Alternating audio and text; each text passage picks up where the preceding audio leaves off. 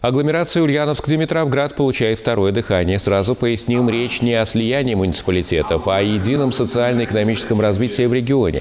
Для начала эксперты проведут комплексное аналитическое исследование, чтобы понимать, за счет каких ресурсов область может стать лучше своих соседей в социально-экономическом плане.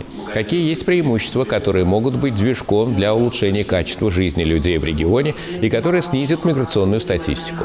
Она, кстати, неутешительная. За последние 15 лет население области сократилось сократилось на 200 тысяч человек. Это решение таких задач, как э, снижение миграционного оттока, повышение социально-экономического а, уровня жизни а, в регионе, в агломерации в частности, повышение конкурентных преимуществ муниципальных образований и сглаживание, вот, выравнивание тех самых диспропорций, которые сегодня есть в агломерации. Сегодня агломерация – это объективный процесс развития регионов, который обеспечивает формирование экономических точек роста, равномерное комплексное развитие территорий более безопасное и эффективное развитие инфраструктуры.